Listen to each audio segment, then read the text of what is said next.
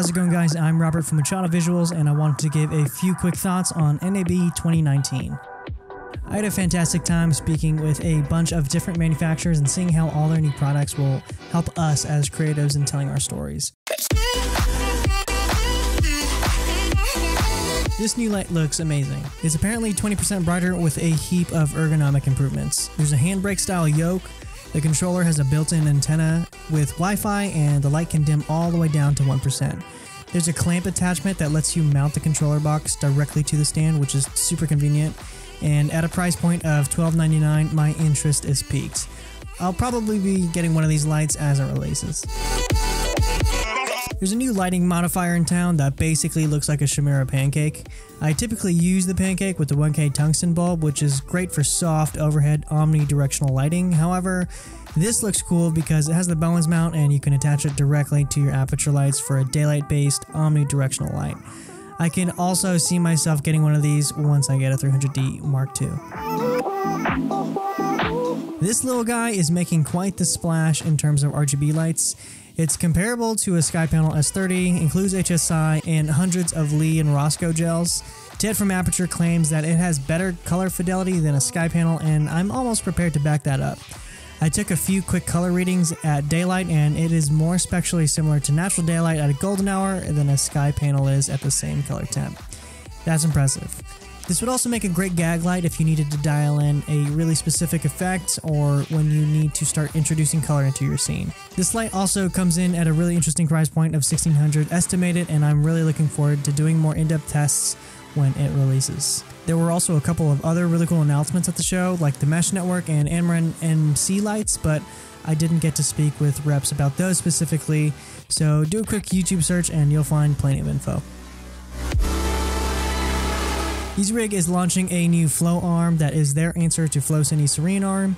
It basically takes any excess movement caused by moving with the EasyRig. This is especially great for gimbal operators since it removes that bobbing that you usually see on gimbal work. This is also great for handheld work.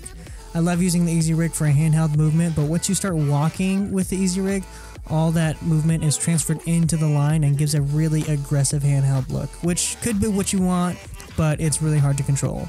The flow arm eliminates this by smoothing out the turbulence on the line. I'm hoping to have Easy Rig send one in so I can do another in-depth review of the new arm. Dude, that's nice.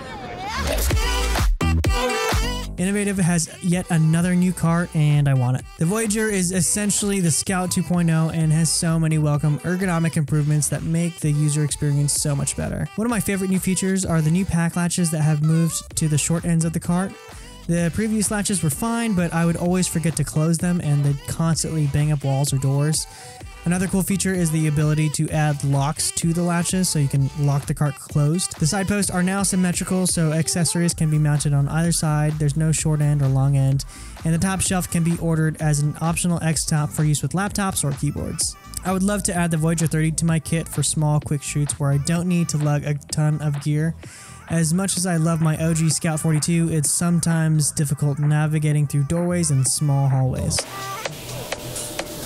That's a car. Damn.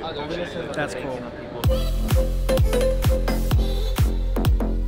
Atomos has finally introduced an SDI module for one of my favorite monitors, the Ninja V. I typically only use this monitor with my smaller A7 camera since it was HDMI only, but now this module now opens up this monitor for use on more professional bodies like my FS7. The module costs around 200 bucks, so this is a welcome upgrade to my existing monitor. They also debuted a new Shogun 7 monitor, which has a better display and the ability to live switch recordings, which I thought was pretty cool. This functionality is found on the bigger Sumo, but now is on the 7-inch monitor in case you'd ever need it. You can record up to four 1080p inputs along with the final output file of the switched recording. Tokina showed off their limited release Vista One primes, which looked pretty killer. There are only going to be 60 sets in the world, so they'll be pretty rare. They have a single coating on the front element to give more flaring characteristics to the lens, and the edges flare up like crazy and there's a very soft bloom to the highlights with the same clarity of the original Vista Primes. The set was created since a lot of DPs enjoyed shooting with vintage lenses, but they didn't necessarily enjoy the softness that came with it. I'd love to give them a try if a project ever comes up that needs that specific look. These lenses are probably some of my favorite lenses to ever come out. They have such an interesting look to them, and especially when you pair them with the Sony Venice. New to the show was the 135 and 21, and they both look spectacular. Zeiss calls part of this look gentle sharpness, which gradually reduces sharpness from the focal plane. I'm totally in love with how these lenses react to people and skin tones, and I also noticed that the bokeh has a more oval shape when shooting anything faster than a T2. I would love to try these sometime within the next year. I'm in the market for a motion controlled time lapse slider, and I've had my eye on Syrp for about five years. Their Genie 2 and Pan Tilt units look really intuitive with the ability to add keyframes to your time lapses. The Genie 2 specifically is cool because it can be adapted to any slider and isn't restricted to a particular length. The unit basically pulls itself along a rope so you can set up a move for a few hundred feet if you wanted to. Syrp also makes a cable cam called the Slingshot that attaches their motion control products to a caddy that can extend up to 300 feet. This gives you motion time lapses from an aerial perspective, which is totally mind blowing, and the footage speaks for itself. A company I do a lot of work with just invested in a Syrp system, so I will definitely be making a few videos on their products. Zacuto's presence at NAB keeps getting smaller and smaller every year, and that's not a fault of them, it's just really expensive to maintain a booth.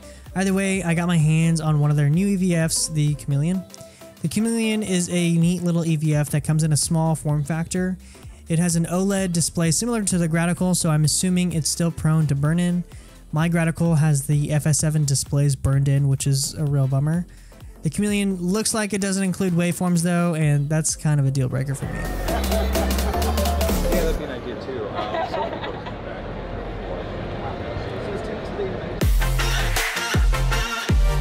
So I've been in talks with Sekonic for a little bit, and we were finally able to link up at NAB.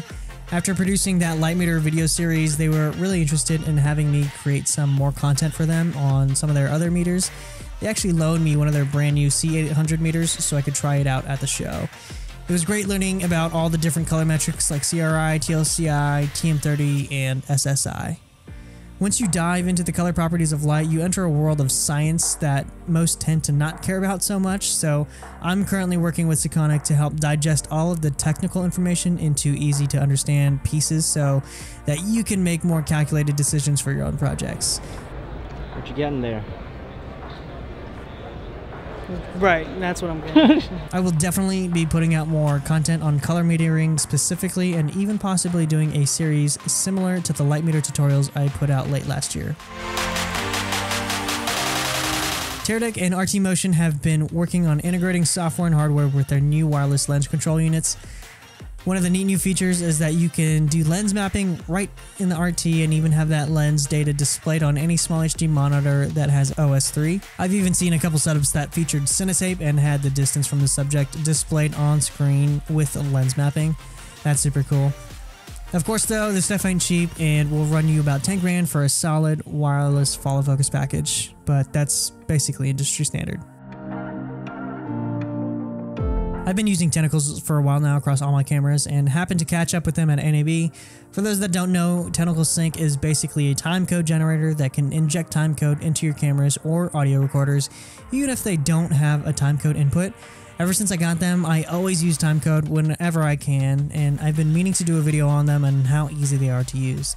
They actually hooked me up with one of their new cold shoe brackets, which pairs perfectly with my smaller A7 bodies. And that's about it. That's what I thought was interesting at NAB 2019. There's a lot of new stuff to check out, and all of this stuff will help us as creatives to tell our stories and help push the boundaries on what's possible. It's not really about fangirling over gear just because it's shiny and new. It's about staying up to date and relevant with all the different tools available as visual storytellers. NAB is a great way to get your hands on new technology so you know what to look for when a specific job comes up. It's also great to talk face to face with manufacturers since you don't really get that with emails or phone calls. Also, as a personal pet peeve of mine, I hate it when people call equipment toys. They're literally tools and you should treat them as such. My cinematography mentor called this widgetry, being fascinated with new technology for the sake of new technology. Anywho, if you found anything else at the show that you thought was interesting, leave a comment below. I'd love to hear about it. As always, thanks for watching, and I'll see you in the next one.